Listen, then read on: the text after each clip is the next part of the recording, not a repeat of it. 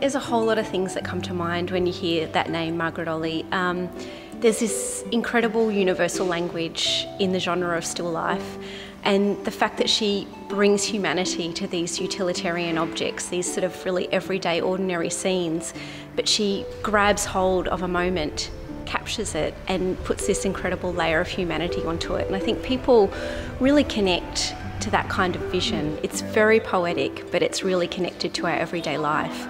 Um, there's also Margaret Olley, you know, the public personality, and I think um, people bring that sense of character when they come to look at the work. Mm. And in this instance, we're so lucky to have the recreation of part of her home studio at the heart of this centre.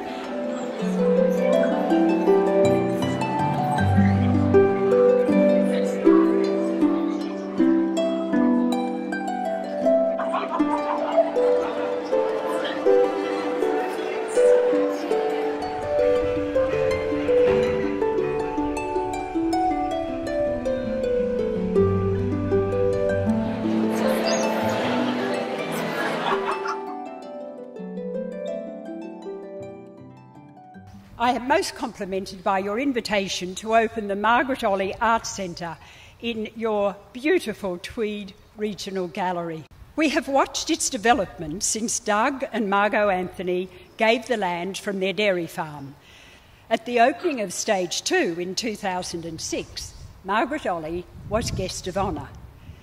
The gallery made a deep impression on her its elegant architecture, its setting in gentle curves of the countryside she'd always loved. The Tweed is really where my childhood began, she recalled, in evocative reminiscence with Meg Stewart.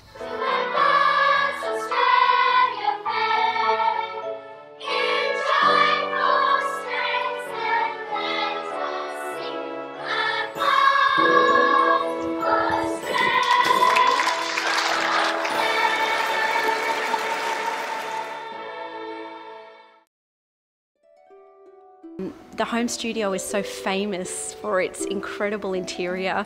It's got such a dramatic, um, we call Olley, Orange uh, walls, and, and it's like um, working in the recreation, I've, I've come to really realise it's a bit like a theatre set.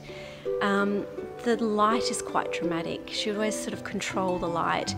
Um, she's setting up scenes as you go through the space. Uh, the colour, like I mentioned. So it has this incredible atmosphere that um, is quite extraordinary to most of our, you know, home lives. It looks like chaos when you first look at it, but as your eyes adjust, as your sense of perspective adjusts, you actually start to realise that you're looking at a whole lot of still lifes set up, ready to be painted, ready to be revisited when the light moves through the day, when the light changes across the season. And that's why it's really important to remember that this, the Hat Factory, Duxford Street, was a home studio, and she described every room as a studio uh, first and foremost before it being, you know, a domestic sort of home.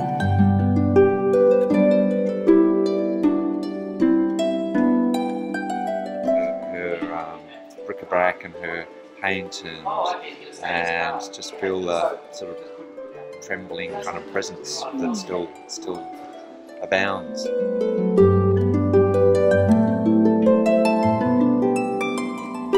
Post event, I'm so happy that everyone has enjoyed themselves so much and that their reaction to what we've tried to recreate here has been so positive.